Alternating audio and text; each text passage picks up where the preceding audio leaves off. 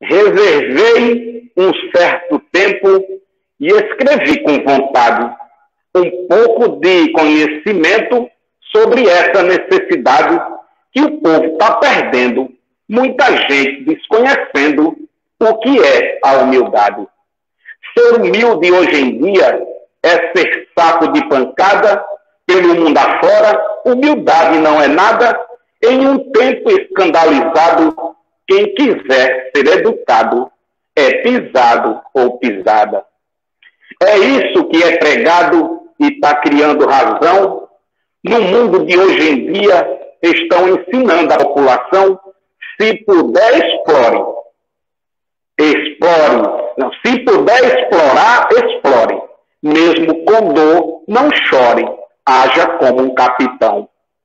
Com isso, as pessoas esquecem até o motivo de viver, vivem achando que sabe tudo e não tem mais o que aprender, querem sempre ensinar. O mundo tem que se prostrar e também lhe agradecer.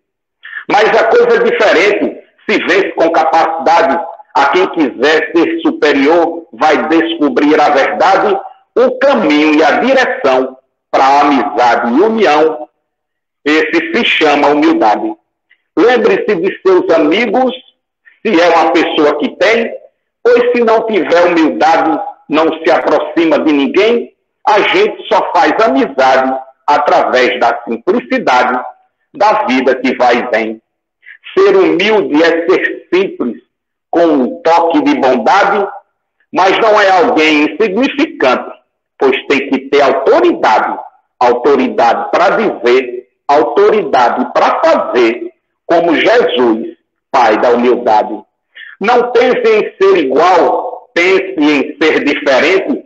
Existem pessoas por aí imitando muita gente, pois não tem identidade e perde a capacidade sem poder seguir em frente.